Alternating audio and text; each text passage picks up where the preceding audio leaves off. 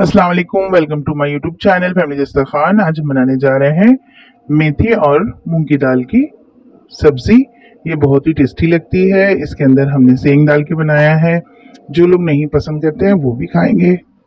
ये हमने एक जूड़ी मेथी लेके, इसे हमने अच्छे से धुल लिया है। ये हम मूंग की दाल लिए हैं। इसे हम पंद्रह मिनट के लिए भिगा देंगे। पानी डाल के हम रख देंगे। और मेथी को हम कट कर लेंगे। ये हमने पाँच से छः हरी मिर्च और पाँच छः हमने लहसुन की जवे लेके इसे हम पीस लेंगे। इसे हम दरदरा पीसेंगे। बारीक नहीं। ये देखिए। अब हमने कढ़ाई में वन एंड हाफ़ चम्मच तेल ले लिया है।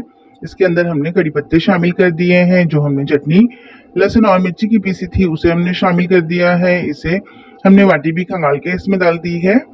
और इसे हम अच्छे से भून लेंगे ताकि इसका पानी खुश्क हो जाए और चटनी हमारी अच्छे से भून जाए, तेल ऊपर दिखाई देने लगे।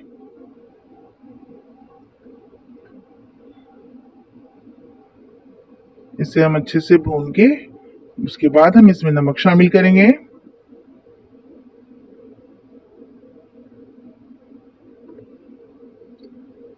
ये देखिए हमने मेथी को कट कर लिया है। ये हमारी चटनी अच्छे से भून गई है।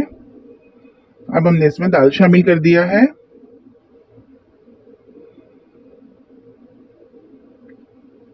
अब इसमें हम नमक, एक चम्मच और आधी चम्मच हम हल्दी पाउडर शामिल करेंगे।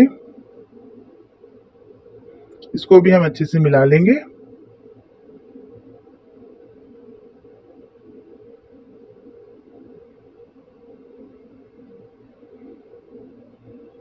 इसके बाद हम इसमें कटी हुई मेथी शामिल कर देंगे।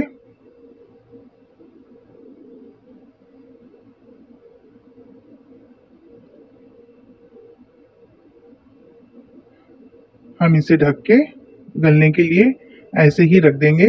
इसे ऊपर नीचे नहीं करेंगे। मेथी के पानी में नीचे मूंग की दाल हमारी गल जाएगी।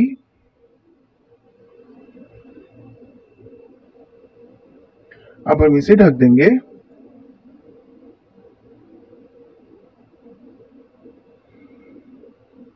ये हमने सेंग को भून लिया है। इसे हमने कूट लिया है कूटने की मदद से। ये हमारी सब्ज़ी मुलायम हो गई है और दाल हमारी नीचे गल गई है। इसे हम थोड़ा और गलने के लिए रख देंगे। दाल को आप चेक कर लें कि आपकी दाल गली है या नहीं। अगर आपकी दाल कड़ी रह गई हो तो इसमें आप हल्का सा पानी का छीटा देके और आप ढक दें ताकि हम दाल गल जाए। हमारी दाल ऐसे ही रखने पे मेथी के पानी से ही गल गई थी। ये देखिए, हमने दोबारा ढक दिया था। अब हम इसे खोल के फिर हम अपनी दाल को चेक कर लेंगे। ये बहुत ही टेस्टी लगती है, ये बहुत ताकतवर होती है। और ये नुकसान नहीं करती है। ये देखिए हमने जो सेंग को कूटा था, उसको शामिल कर रहे हैं। या आप इस तरीके से बना के सफ़र में भी ले जा सकते हैं। ये दो दिन तक सफ़र में भी आराम से चल जाती है, क्योंकि इसमें बिल्कुल भी पानी नहीं रहता है। आप टिफ़िन के लिए भी इसे बना सकते हैं।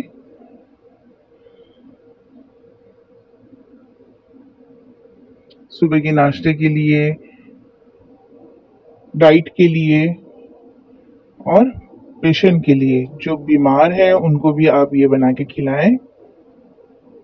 ये बहुत ही अच्छी होती है, बहुत ही टेस्टी बनती है और फ़ायदेमंद भी होती है। मेथी के खाने से आपको शुगर और पैर के दर्द में भी आराम रहता है। अल्लाह हाफ़